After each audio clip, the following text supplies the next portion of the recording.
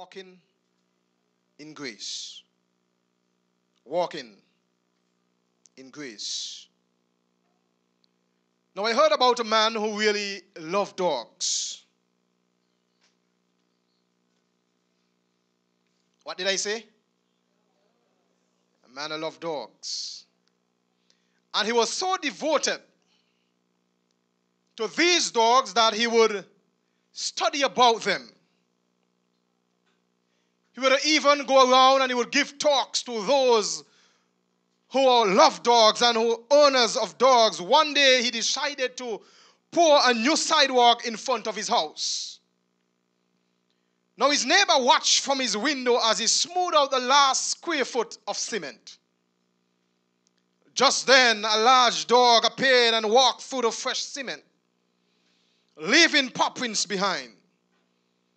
The man muttered something under his breath and he just went by smoothly, smoothed out the damage. Lo and behold, he then went inside to get some twine so he could put up a fence around the sidewalk. But, brothers and sisters, when he got back outside, he discovered that some more dark tracks were there in his fresh cement. So he smoothed out the cement and put up the fence. He then went into the house again. Five minutes later, he looked outside and he saw some more paw prints. And so this man was really mad now. Couldn't take it anymore. He got out of his, he got out his trowel and he smoothed the cement one more time. As he got back into the porch, the dog reappeared and he sat right in the middle of the sidewalk.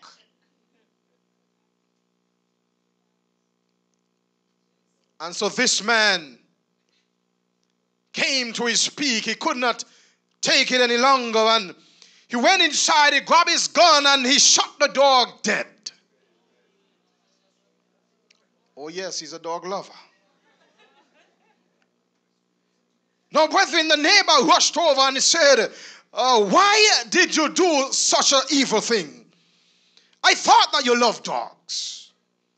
And the man thought for a minute and said, Of course, I do. I do like dogs, but that's in the abstract. I love dogs in the theory, but I hate dogs in the concrete.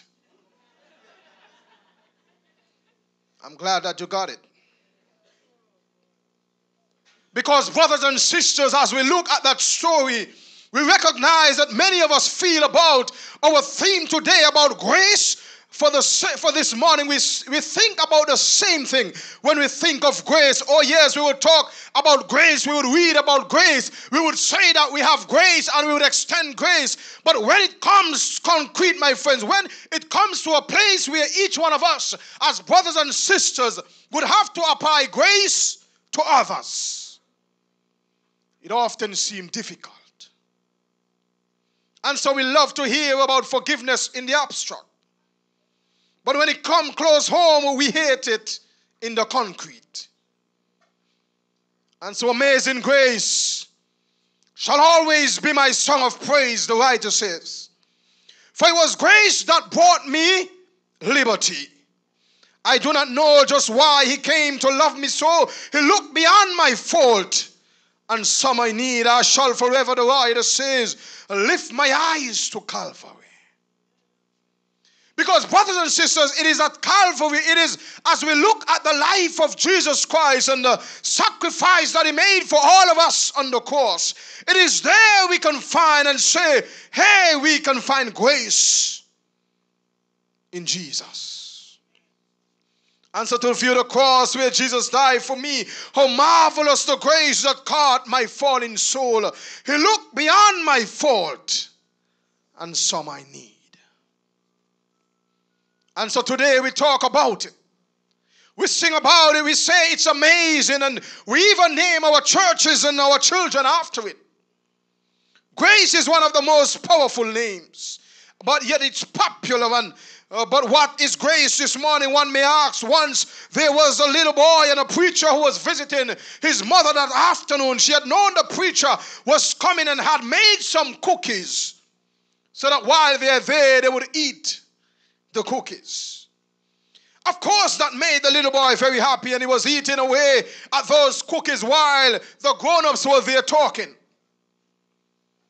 Then he came to the last cookie, but as he was getting ready to put that cookie in his mouth, it dropped to the ground. And well, he was not going to let a perfectly cooked a cookie waste, so he picked it up. And he was going to eat it, but his mother stopped him and said, Don't eat that, it has germs on it. And so the little boy, in frustration, he was so hungry, he stomped his feet and he said, Germs and Jesus, germs and Jesus. That's all I ever hear. I ain't never seen any of them. Brothers and sisters, we are going to talk about it. But if we are going to talk about it, we need a good working definition. We should know what it's look like, what, what grace actually looks like. So the dictionary definition of grace is unmerited divine assistance given for justification, regeneration, or sanctification. That says a whole lot.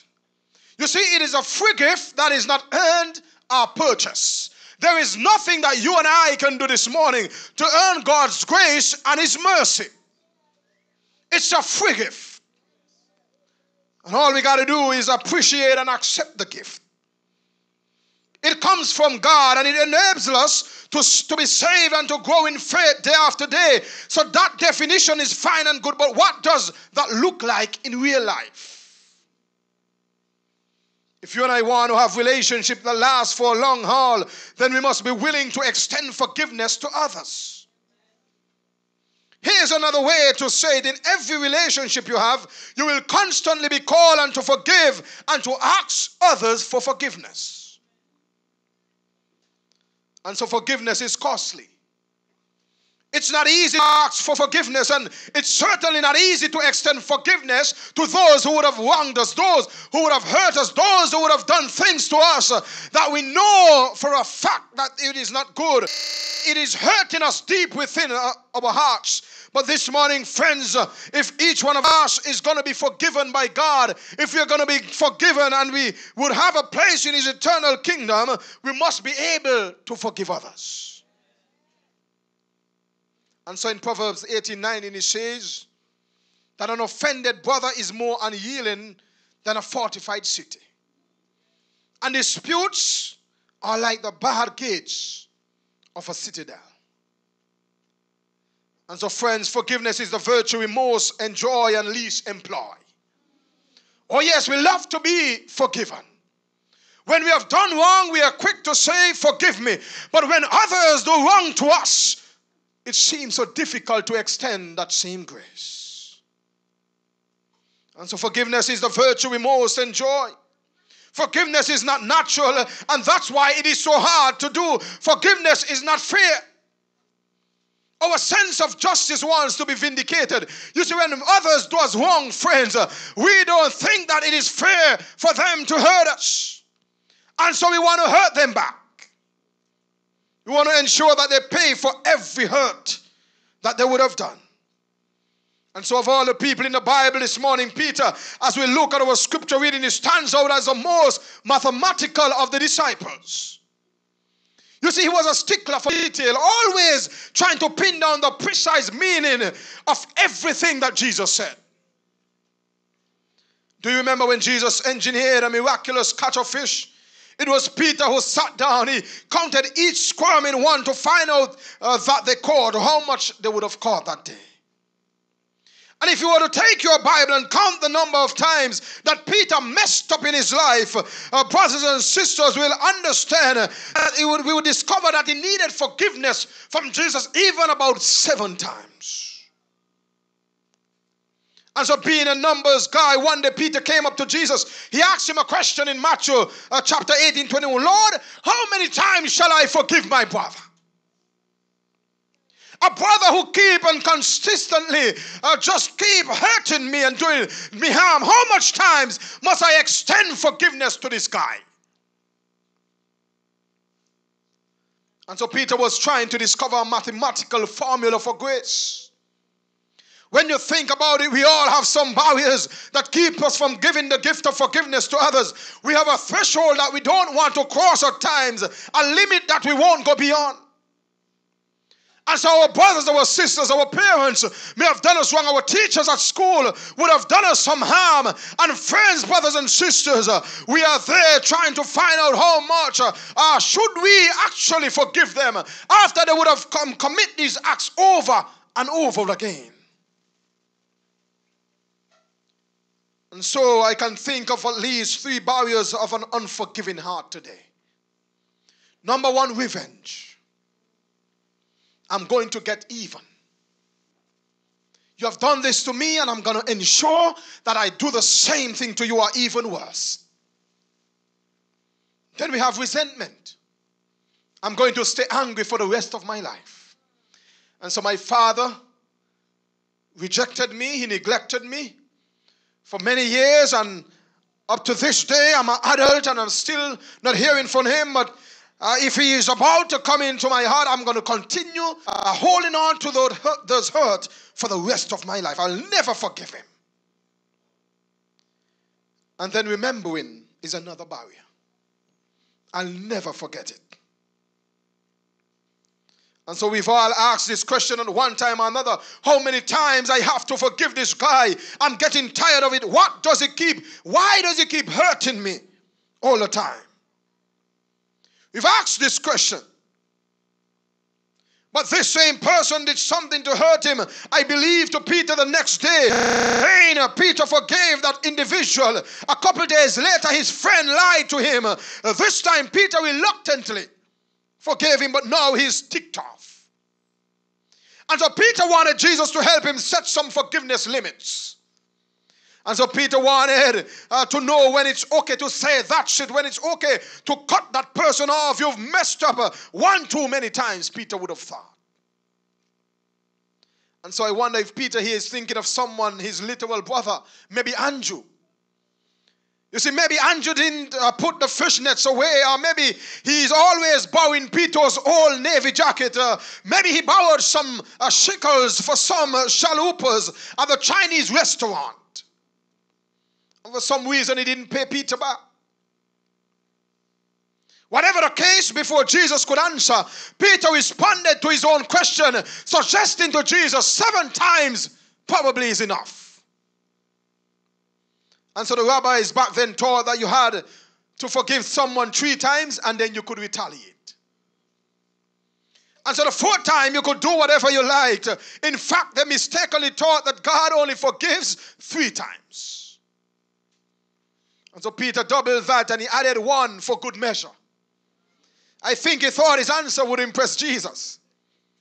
But to be honest, forgiving someone seven times is commendable. I mean, uh, imagine your friend. Imagine someone just coming and they're hurting, they're hurting you, they're saying and doing things that are hurting you over and over.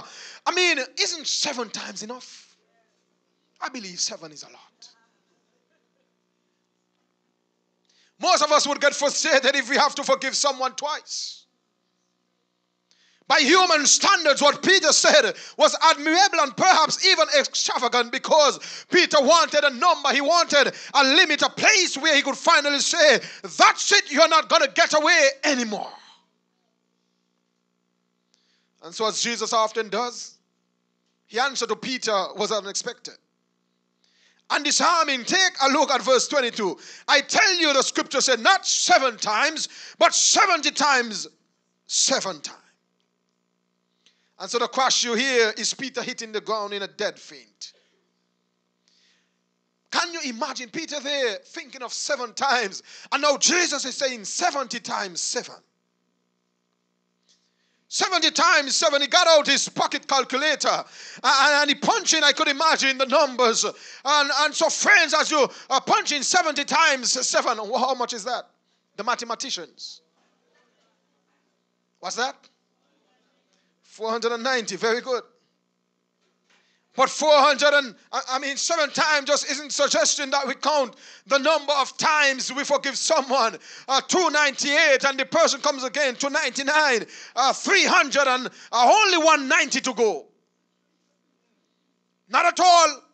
I heard of a story of a man one day who asked his wife to forgive him for something he did. And before she could answer, he reminded her that Jesus wanted her to forgive 490 times. And so she laughed and said, Buddy, you're already over 500. But she said, I'll forgive you anyway. You see, 70 times 7 means there is no limit to the number of times that you are to forgive someone. Actually, if you were to count, by the time you reach 490, you would be in the habit of continual un- unlimited forgiveness. And so you might as well continue to forgive. And so that's precisely the point Jesus is making. You don't keep score when it comes to forgiveness. Doesn't matter what the friend did to you. It doesn't matter what your husband or your wife did, for, did to you over and over. Friends, don't count the amount of times you must forgive, but forgive him or her anyway. So we're talking about walking in grace. You say, like grace, brothers and sisters, forgiveness has about it maddening quality because it is undeserved, it's unmerited, and it's unfair.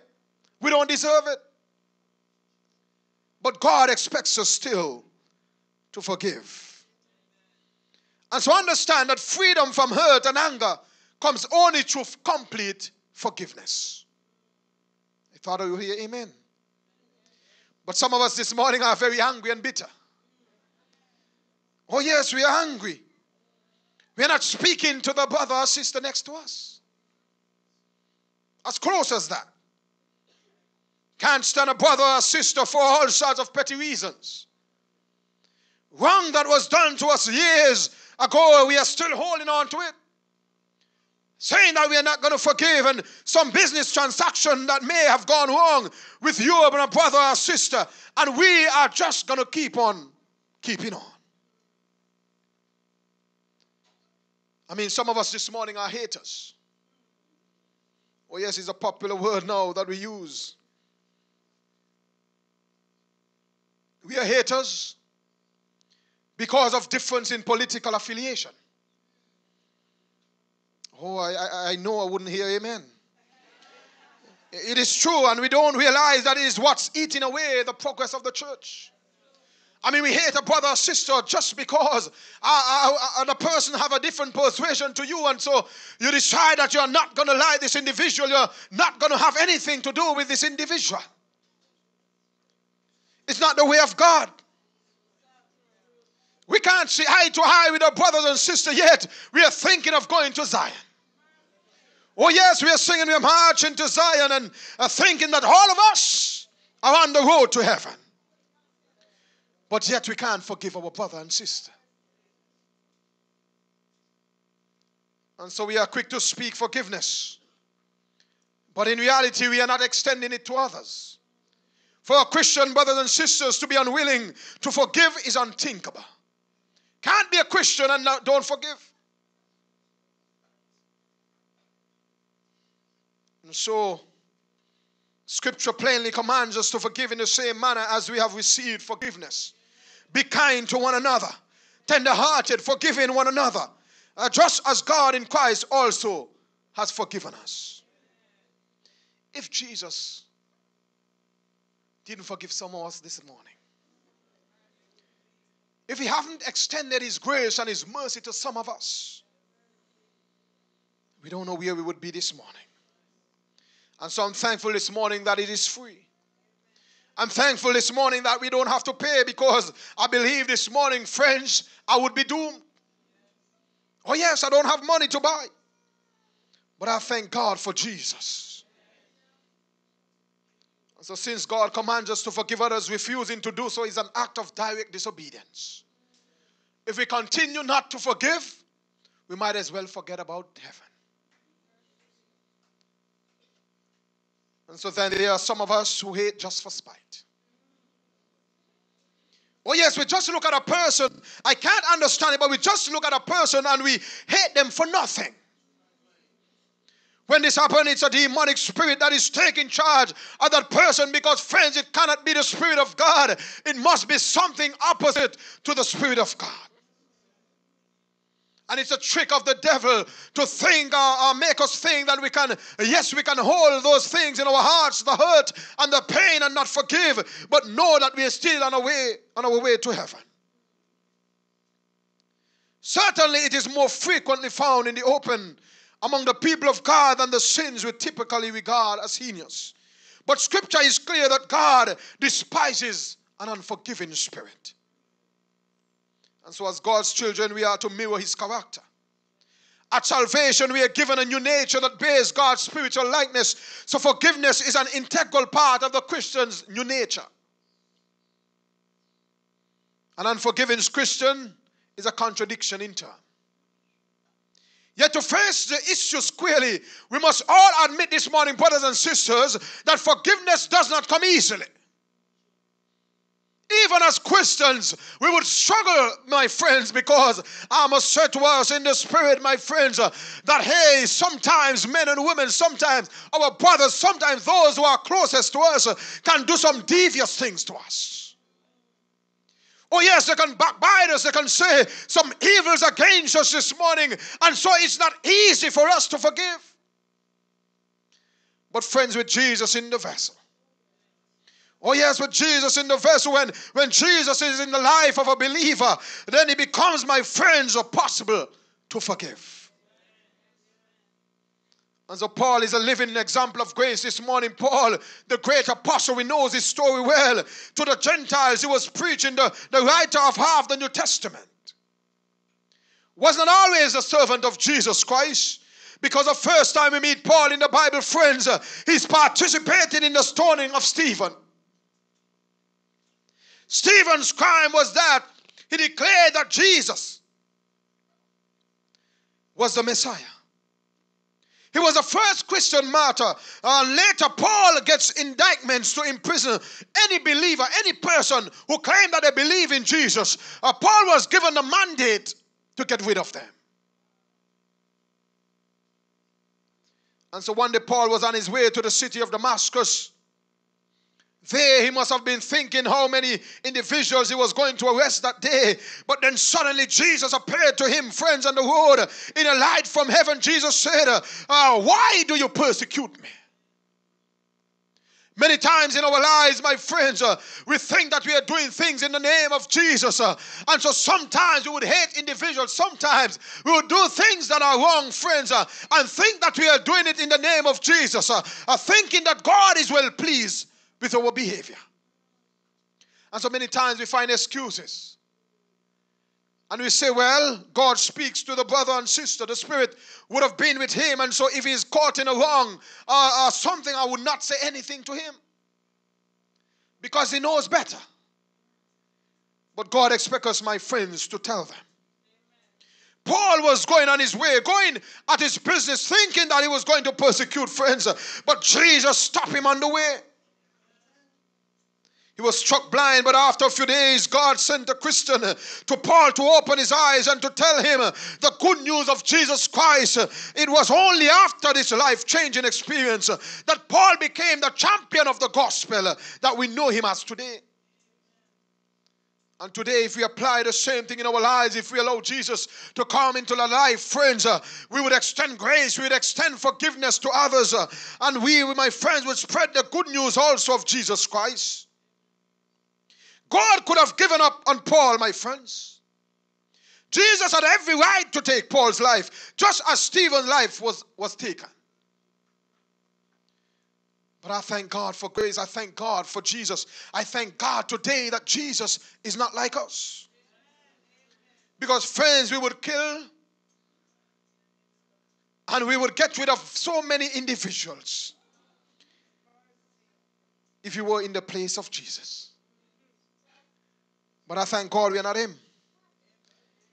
In fact, God's grace went even farther in the life of Paul. Paul was called to be one who take good news of Jesus Christ beyond Israel and to all nations of powered by the Spirit to lead thousands of Christ, thousands to Christian to start churches and to write letters that still inspire Christians today. Some of us even take it further and apply unforgiveness and malice to the cause of God. Oh, yes, we give up our offices in church uh, because we don't agree with something or someone. Someone thinking that we are hurting the person, but the truth is, a lot of us, my friends, often uh, give up at the cross, uh, and there is where pain is, my friends. Where, you see, when you go at the cross and you stay at the cross, at the cross, there is pain at the cross, my friends. There is trouble and problems on every side. But when you pass, my friend, go past the cross this morning, and you would find peace. You would find joy this morning. And so that's what Paul is talking about when he says, Though I formerly blaspheme and persecute and insult, but I receive mercy because I had acted ignorantly in unbelief. So Paul is a living example of grace today. By grace, he was saved from a life of hatred. He was set free to love. He was given more than a second chance, my friends. And Paul was given an opportunity to make up for all the persecution persecution that he would have done. And so God gave each of us a soul that was beautiful. But we go and we make a mess of it. Uh, God could have said, You made your mess. Now lie in it and live in it. You messed up what I gave you by sinning. You don't deserve to have a righteous life. But it's then God said, Here is a new life, my brother, my sister. Uh, Here's a new life, my son, my daughter. Instead of denying us the righteousness we need, uh, Jesus said, Here is my righteousness.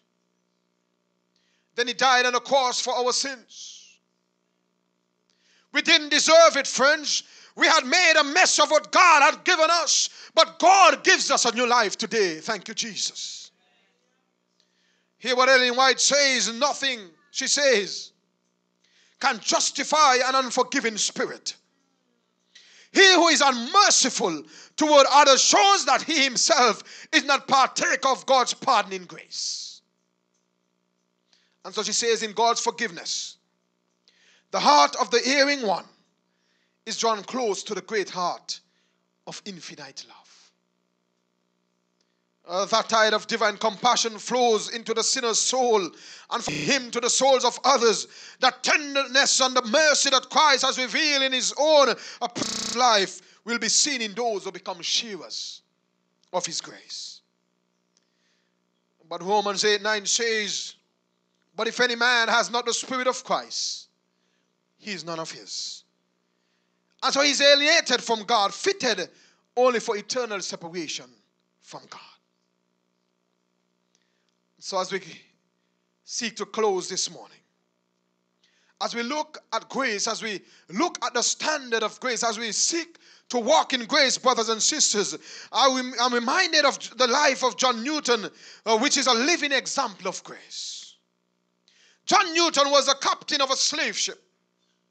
A lot of people are not aware of the hours and the slave trade, my friend. The crossing from Africa was perhaps the most deadly part of the slave trade. The newly enslaved Africans were treated like cargo. They were packed in as closely as possible. Many died and their bodies were unceremoniously thrown overboard. The shipping company considered them acceptable losses. But friends, when John Newton, uh, when he's there and realized his sin, uh, he saw himself as he really was. He was a man with the blood of thousands on his hands. He was responsible for causing many to die. But friends, uh, he lived in an age when many had these same bloodstains on their hands. But God forgave him. God forgave this man, and by the blood of Christ, he was washed clean this morning, friends. Didn't deserve it, but God. But God, my friends, God gave that forgiveness by grace. Uh, in praise to God, He wrote a well known song. Uh, perhaps you have heard it, perhaps uh, you would have sung it many times. It says, Amazing Grace. How sweet the sound that saved a wretch like me. I once was lost, but now I'm found. Was blind, but now I see. Oh, thank God for His amazing grace. God's grace is amazing.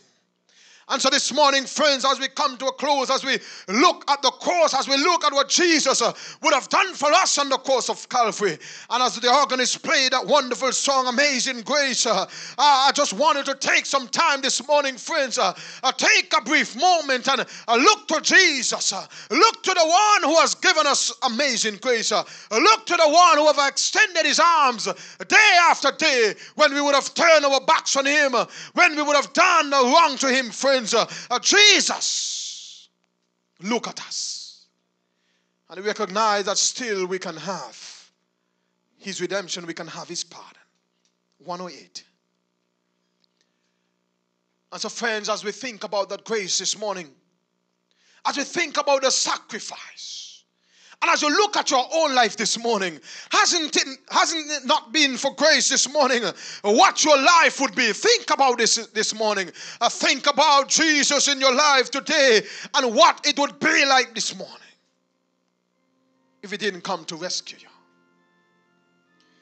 Oh, he took a wretch like John Newton and used him to write a song to inspire many. It took a murderer like Paul and used him to lead a world of sinners to salvation. And it has taken us sinners, friends, taken us wretch this morning that we are and given us new life. Uh, that is my definition of grace this morning. Uh, it's a life, friends, undeserving. Uh, it's a life that would have gone to the ruts, but because of the blood and the grace of Jesus, today we can say we have a Savior. Today we can say we have a man in the name of Christ Jesus uh, who is able able to save us, able to restore us, able to give us a new life in Jesus Christ. Oh, friends, grace is not about the pastor this morning. Grace is not about the elders. Grace is not about the brother or sister. Grace is about Jesus Christ. And if Jesus is in the life this morning, then grace is your business today. Oh, are you in need today? Do you need a fresh anointing? Do you need a fresh portion of His grace today? For Christ's sake, brothers and sisters, let go of what you are holding against your brother or sister this morning. There may be something that you're holding, there, there is something that is just there and it's lingering, it's causing barrier between you and the brother, between you and the sister. But, friends, if it is causing a barrier between you and the brother and sister, then it's causing a barrier also between you and Jesus. And so make things right this morning. Commit your life to Jesus. If you know for Christ's sake this morning that you have a problem with a brother or sister. You have something that they would have done to you some uh, some years ago, uh, some days or weeks ago, but yet you're lingering, you're holding it in your heart. Today is a time to make it right. We can't give an account for tomorrow. Or we don't hold tomorrow. This is a very moment, the, the only time that we have on our hands to do anything in this life is this very present moment. Because there's no guarantee that any one of us would leave the building this morning. There's no guarantee that we'll reach our home this morning. There's no guarantee that any one of us this morning would see tomorrow. And so, the wisest thing for each one of us to do this morning is to recommit and ensure that our lives are where God wants it to be. This morning, I need the grace of God. Oh, yes, my life, my life without it would be a wreck. This morning, I would be nothing without it. And so, daily, I need the grace of God. If there's just one brother, one sister this morning who needs the grace of God, you need to recommit your life to Jesus. You need the grace of God to flow and to fill your life this morning. If that is your desire today, I ask you to stand with me today. Won't you stand with Jesus? Take a stand for Jesus. Oh, His grace is able. We are to release every malice, every form of hatred, every form of anger this morning and allow the Spirit of God to saturate our hearts, saturate our minds, so that we can live victoriously for Jesus.